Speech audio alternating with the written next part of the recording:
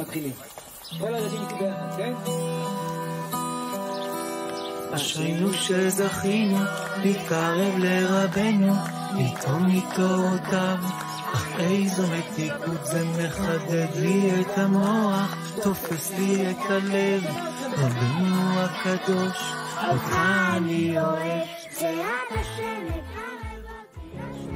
On a été placé sur cette terre, tout un chacun, pour faire du bien, pour apporter du bien aux autres, pour voir le bien dans les autres. Donc, il faut véritablement que tu comprennes que c'est pas seulement que c'est ton aide peut venir du, du roi des rois, ton aide peut venir du ciel, non. Ton aide elle va venir du ciel. Ça dépend que de toi. À combien tu sens qu'Hachem c'est ton nom À combien tu sens qu'Hachem il est présent dans ta vie? Plus tu vas vivre dans ça, plus tu vas pouvoir véritablement surmonter des montagnes. C'est pourquoi, avant toute explication, avant toute forme d'intelligence que l'on pourrait expliquer, de preuves et de sources, etc., avant toute étude et approfondissement, le début, le commencement de tous les commencements, c'est tout simplement parle avec Hachem. Parle avec ton créateur.